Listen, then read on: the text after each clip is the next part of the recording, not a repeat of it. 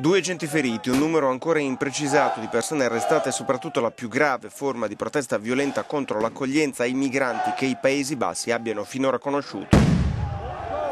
A Geldermalsen, cittadina di 27.000 abitanti vicino ad Utrecht, una folla di quasi 2.000 persone è intervenuta in maniera violenta contro la polizia.